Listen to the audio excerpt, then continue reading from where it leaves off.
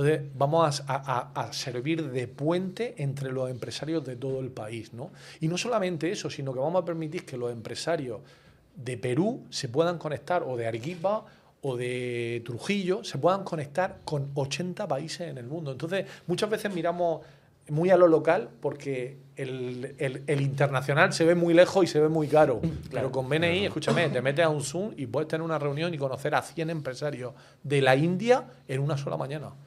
Entonces, bueno, creo que hay una oportunidad muy bonita también ahora para por, Y provincia. la tecnología te va a acompañar, porque ahora hasta puedes traducir la conferencia en línea con inteligencia artificial, ¿no? Es que ahora lo Una maravilla. O sea, tienes Zoom, te traduce lo que están hablando en el idioma que quieran y tú hablas y los otros te escuchan en el idioma. Es que son los mejores escalones para tomar un avión y no estrellarte, ¿no? Porque imagínate antes la gente se iba a ciegas. a No, no, y se tenía que coger un avión, sacarse una visa, Claro. o sea, tenía que hacer cosas que, que hoy las ves y dices tú, bueno, sí, hay que coger un avión de vez en cuando, ¿no? Pero ahora no lo necesitas. Claro. Ahora no lo necesitas. Así que Ahora estamos- viajas más por placer que por Eh, eh, necesidad. y además también es, bon- es bonito, ¿no? Porque viajar por obligación tampoco es que sea lo más lindo. No, pero imagínate, esto en pandemia, el networking debe haber sido hasta terapéutico, ¿no?